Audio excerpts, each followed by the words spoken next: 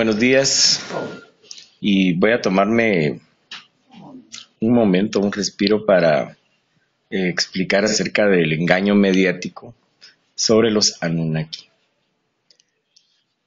En primer lugar, los Anunnaki no revelaron nada, esclavizaron.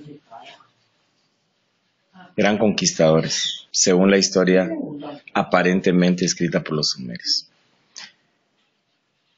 Y jamás hablaron de libertad, sino de esclavización. Muestran una historia que medio mundo allá en Europa está creyendo pie juntillas. ¿Y cómo eran los Anunnaki? Los podemos ver. Bueno, tenemos acá una imagen muy aproximada de cómo llegaron los Anunnaki a la Tierra. Lo vamos a ver acá. Eh, las mismas eh, representaciones, mm, llamémosle mediáticas, artísticas, nos muestran cómo, cómo pudo haber sido el momento en que los Anunnaki llegaron. Y aquí podemos ver, podemos ver las naves llegando a gran velocidad a nuestro planeta. Bueno, básicamente yo no pienso que los Anunnaki hayan sido seres celestiales. Probablemente venían en, o estaban siendo manipulados por seres celestiales muy poderosos a los que podría decir que el libro de Enoch alude o trata de identificar, siendo el Señor lo reprenda, Azazel o Shemiasa, su capitán, 200 de ellos, eh, poderosos pero que se corrompieron en el planeta Tierra.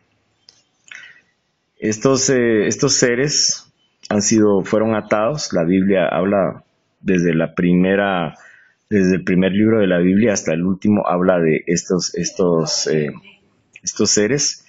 Y claramente dice que están atados en un lugar llamado el abismo y, o el tártaro como le llamaban los, los antiguos y van a ser soltados, van a ser soltados y probablemente ya algunos de ellos han sido soltados, probablemente los, los, mandos inferiores han sido soltados y eh, estamos viendo el ataque y misericordia de estos seres sobre la humanidad.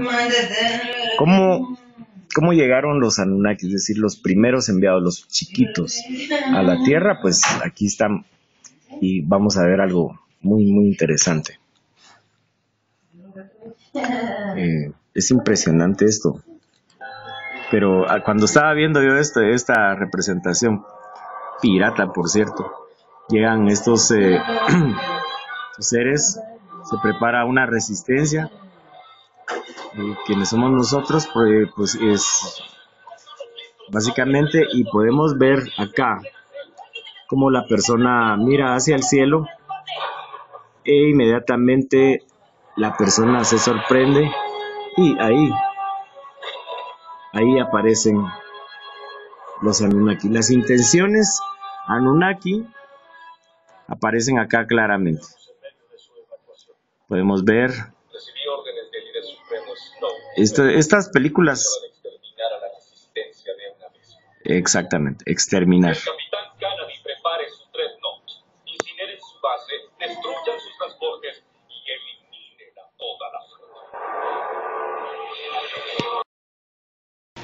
¿Qué es lo que quieren destruir los Anunnaki? Pues algo tan simple como esto. Vean ustedes. Aquí tenemos una metáfora de la conciencia humana. La riqueza de la tierra depende de la conciencia humana. Los Anunnaki a mi modo de ver, esclavizaron a la primera humanidad, no la humanidad adámica, sino que a la humanidad previa a la humanidad adámica.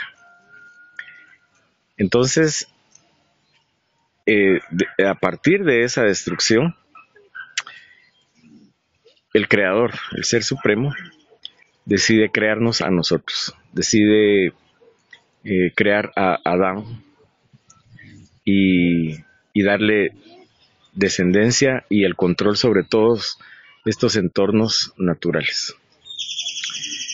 Y los Anunnaki no se conformaron con eso. Estamos hablando entonces de, del Anunnaki original, que es Satanás, y estamos hablando de los Anunnaki, plural, que llegan y, e instalan una, una élite humanoide llamada los Nephilim, eh, satánica, predadora, y contamina a la humanidad, a excepción de algunos, los cuales eh, el creador rescata en el episodio del diluvio por medio del arca.